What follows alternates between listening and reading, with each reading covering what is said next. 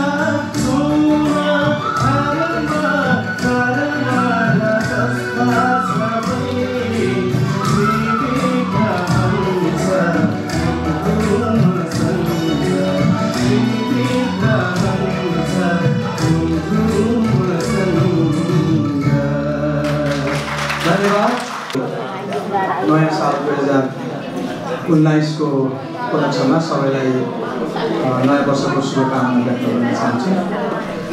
र साथसाथै हाम्रो इतिहासकार भाषाविद मुन्दुम्बी किराँतको